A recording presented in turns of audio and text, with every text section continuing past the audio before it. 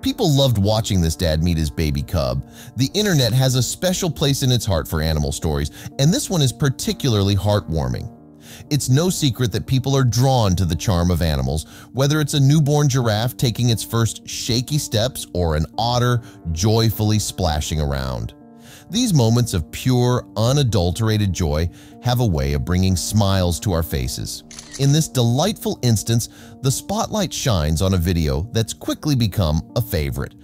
Shared by the Denver Zoo, it captures a touching moment that's rare and beautiful. A young lion cub meeting his father for the first time. This isn't just any ordinary meeting, it's a glimpse into the tender side of the animal kingdom. The Denver Zoo shared this captivating moment with an update that's just as exciting. This week's Meru Moremi or Tatu Cub date comes with some thrilling news.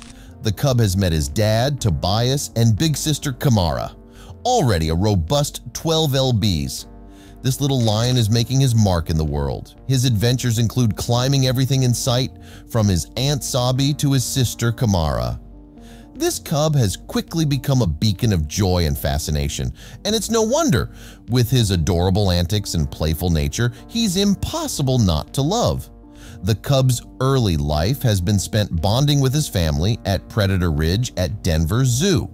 He's all the things you might expect of a lion cub, playful, curious, and energetic, says Jake Kubié, the director of communications. This bonding is crucial as lions are known for their strong family ties. In the wild, lion cubs stay with their mothers for about two years, learning vital survival skills. The zoo has been diligent in updating the public with adorable cub dates. As the cub grows and learns, everyone is eagerly following his progress. The zoo is considering two names, Tatu, the Swahili word for three, and Meru, named after a mountain in Tanzania. This naming process adds an extra layer of excitement to the cub's journey. In the wild, lions are apex predators and play a crucial role in their ecosystems, but they don't have names. They are identified by their unique characteristics and behaviors. The public's anticipation to meet the cub is palpable. Everyone is extremely excited and anxious to pay him a visit once he makes his public debut, says Jake. The zoo's social media channels are a testament to this, brimming with affectionate responses to their weekly updates. Lions, in their natural habitat, are social animals living in groups called prides. This social structure is essential for their survival, and it's fascinating to see a similar kind of community forming online around this cub. The cub's introduction to his family extended beyond his father. He also met his older sister, Kamara, who is four years old. The Denver Zoo's Instagram account describes Kamara as the most attentive and affectionate older sister.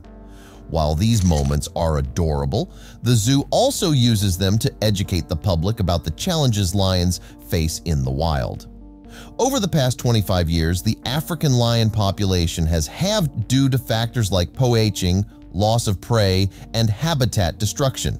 The Denver Zoo is not just about showcasing these beautiful animals, it's deeply involved in conservation efforts. They run various initiatives and engage the community through educational programs, volunteer opportunities, and an Adopt an Animal program. By sharing the journey of this little lion cub, they hope to inspire people to take action in protecting his wild counterparts and other wildlife around the globe.